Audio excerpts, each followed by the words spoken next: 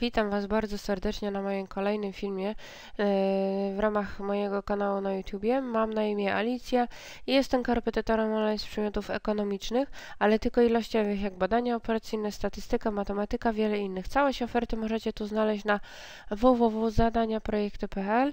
E, wszystkie są zasady współpracy ze studentami. Sama udzielam pomocy studentom różnych polskich uczelni w zakresie rozwiązywania zadań na termin. Jeśli macie problem ze swoimi zadaniami, jak najbardziej najbardziej od razu możecie pisać na adres mailowy zadania, myślnik projekty, małpowp.pl, tam wraz z załącznikami, a gdy będę miała możliwość, na pewno do Was odpiszę.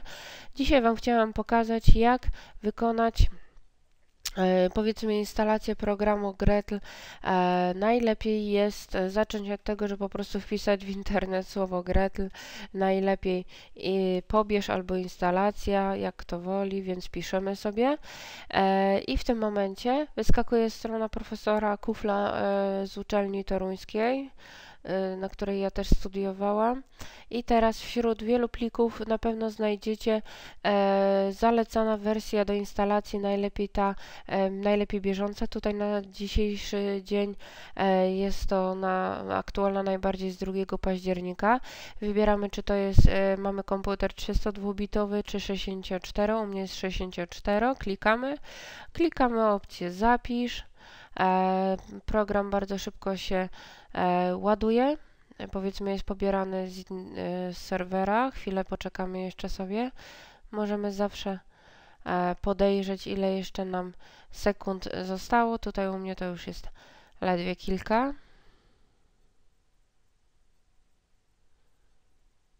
Ok, zostało to pobrane, jak widzicie już kolejny raz. I teraz zawsze e, tak, jest to plik bezpieczny, ja już to instalowałam, wszystko było ok. Teraz klikamy, że tak, że ma być język polski, że dalej. Możemy tu wybrać sobie oczywiście, jak wiecie, e, gdzie, w którym miejscu na naszym komputerze chcemy to zainstalować. U mnie standardowo niech to będzie w tym miejscu. E, klikamy teraz dalej.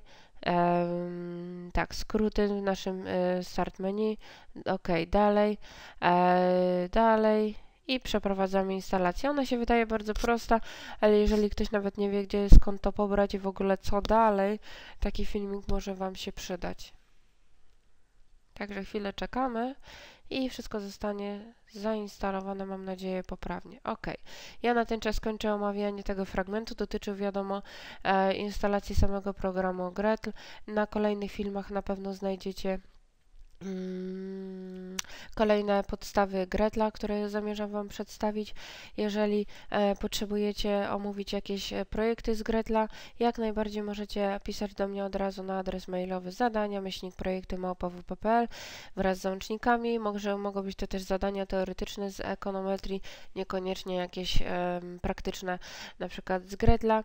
E, zapraszam Was do subskrypcji kanału, omówienia konkretnych filmów, udostępniajcie je znajomym, sami przeglądajcie moje playlisty i korzystajcie z całej udostępnionej wiedzy. Ja Was serdecznie pozdrawiam i życzę powodzenia w nauce.